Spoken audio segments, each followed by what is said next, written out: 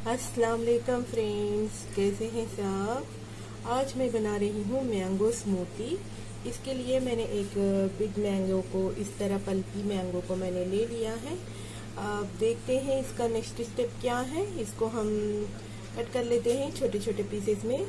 Okay friends ये देखिएगा friends मैंने मैंगो को इस तरह कट करके बॉल में ले लिया है और मैंने थोड़ा सा हाफ़ कप मिल्क ले लिया है और मैंने एक कप फुल फैट योगर्ट ले लिया है और मैंने टू टेबल स्पून शुगर ले लिया है, बिल्कुल थोड़ी सी। और मैंने दो इलायची ले लिया है।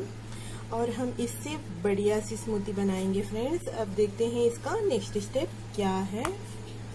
देखिएगा फ्रेंड्स मैंने एक ब्लेंडर ले लिया है और उसमें मैंने मैंग मैंगोस को डाल दिया है और मैंने उसमें कट को भी डाल दिया है कट या योगर्ट ये शुगर ऑप्शनल है फ्रेंड्स आप डालना है तो डाल सकते हैं, वरना आप स्किप कर सकते हैं, या आप हेल्थ कॉन्शियस है तो ब्राउन शुगर या ब्राउन शुगर यूज़ कर सकते हैं आप.